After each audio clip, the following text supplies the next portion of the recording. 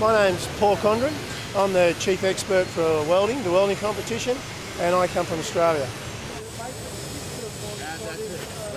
Our task goes for a total of 18 hours and we break it down into five separate modules. So that allows us to mark progressively and um, with the coupons, with, with the projects, we uh, test them by X-ray and we test them by hydrostatic pressure and we also visually assess each coupon.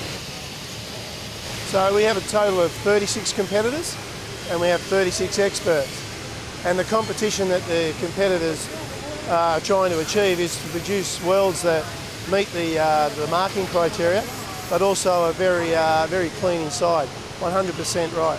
I think if you uh, just look at the weld, you know whether it's good or bad, but the most important thing is that the competitor is aware of how we mark. So they must be aware of the tolerances they're allowed.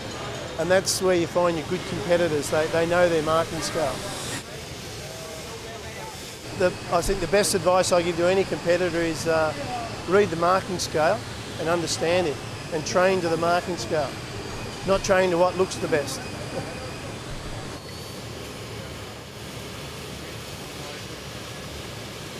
Well, we try and make the competitors feel as comfortable as possible, you know.